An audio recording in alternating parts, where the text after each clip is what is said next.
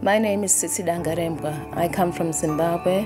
I'm a writer and filmmaker, and I work with women filmmakers of Zimbabwe. I had been coaching young women in writing and film skills in Zimbabwe for over a decade, and I felt that I had to develop some more myself if I was going to bring anything to the people I was working with. The program is helping me to understand who I am and how far I can go forward.